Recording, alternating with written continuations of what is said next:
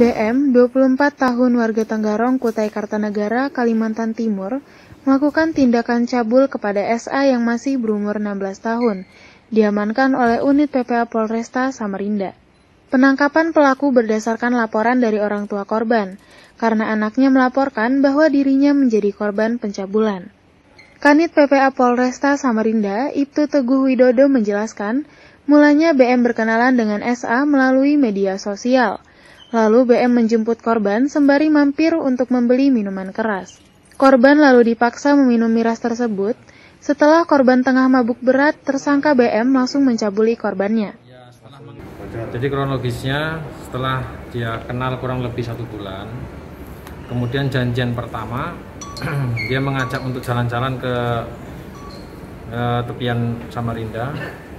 Hmm, kemudian setelah sampai di tepian Samarinda, Eh, berlanjut mampir ke kos-kosan. Uh, sebelum sampai di kosan dia juga beli minuman jenis anggur untuk rencananya diminum bersama-sama. Hmm. Ya.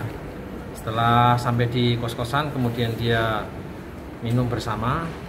Setelah ada reaksi, reaksi uh, kemudian dia mulai mencumbu ya, mencium, kemudian meraba, kemudian mulai dia membuka celana korban. Akibat perbuatannya, BM dikenakan pasal 290 KUHP tentang pencabulan dengan hukuman 7 tahun penjara. Ardi Wirya, Jasmine Jafar, Kompas TV, Samarinda, Kalimantan Timur.